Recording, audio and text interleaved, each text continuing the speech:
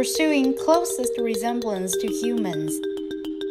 The EX Future Science and Technology Museum aims to integrate research and development, design, manufacturing, and display, and is closer than ever to achieving its goal.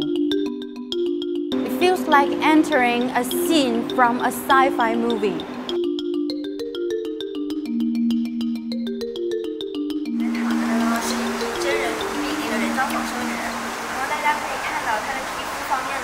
sci fi movie.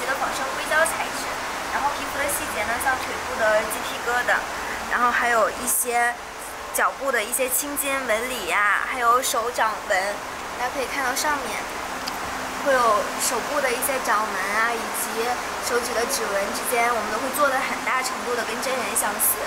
Here you can talk to historical figures, experience the thrill of a mechanical battle,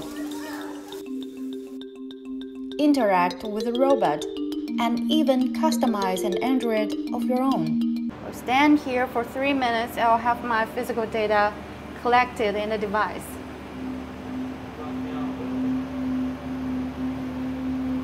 After processing the data, parts of me will be printed by a 3D printer as the first step to customize a me. The current products are mainly for exhibition and educational purposes but the museum is considering to introduce bionic humanoid robots to the service sector and make customized personal robots a reality in the future.